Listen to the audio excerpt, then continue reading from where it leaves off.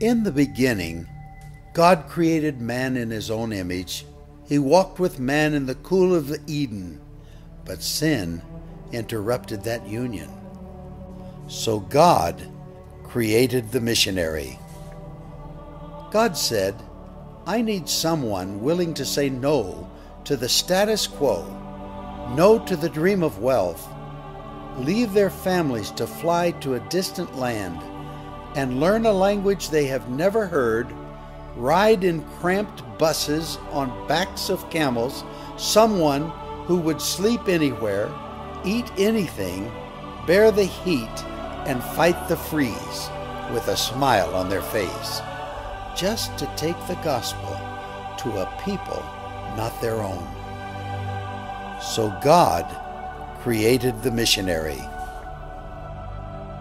God said, Because the harvest is plentiful, I need someone ready to sow the seed, to plow the ground, water the seed, and reap the harvest which is ripe.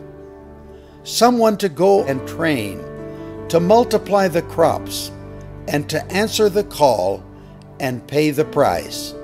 So God created the missionary. God said, I need someone who is a radical servant of all, taking the lowliest job, washing the feet of the poor, caring for the sick, and cleaning their wounds. I need someone to visit the prisoner, care for the widow and the orphan, to sit in the dust with a child and tell them that they are loved. So God made a missionary. God said he needed someone who would believe that blind eyes could see and lame feet could walk and that the dead could live again. Someone who would pray long hours and intercede through the night with wordless groans of petition so that one soul might be saved.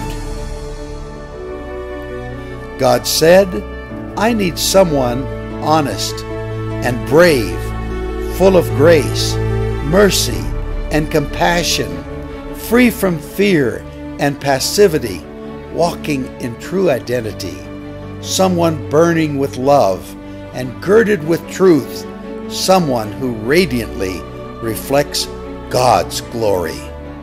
So God made a missionary.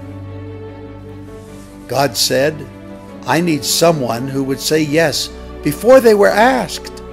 Someone who would go to distant islands, barren deserts, inner cities, closed nations, next door neighbors, and prestigious universities to reach the unreached who would hike any mountain and endure any obstacle? Because how will they believe in him of whom they have never heard? How will they hear unless someone preaches? And how will they preach unless they are sent? So God made the missionary.